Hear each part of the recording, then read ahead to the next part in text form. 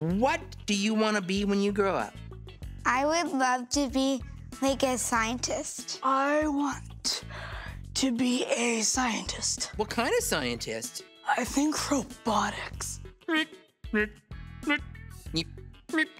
I am a robot. What kind of scientist? Like to help like people who are sick and like see like all the germs and make medicine to make them better. And if you're a scientist helping keep people healthy, that's really important.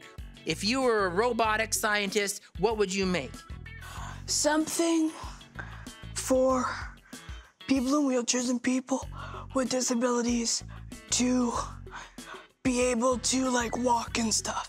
I would like take a little like cotton swab and like put it in your mouth to see like what's wrong. Then I would look at it under like a microscope and I would see like, oh, this is what's wrong with him. Oh, I am sick.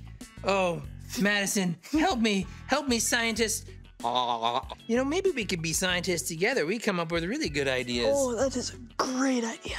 Like a robotic arm kind of Robotic arm to, you know, to to give me back tickles. Okay, what does it say, scientist Madison? What does it say?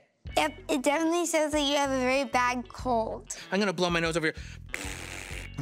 And then we could tell it Like to go get robotic it. pets. A robotic pets. A robotic tiger. A robotic chipmunk. Oh, I feel so much better already. Now some rest. I'm just gonna rest over here on my friend Madison.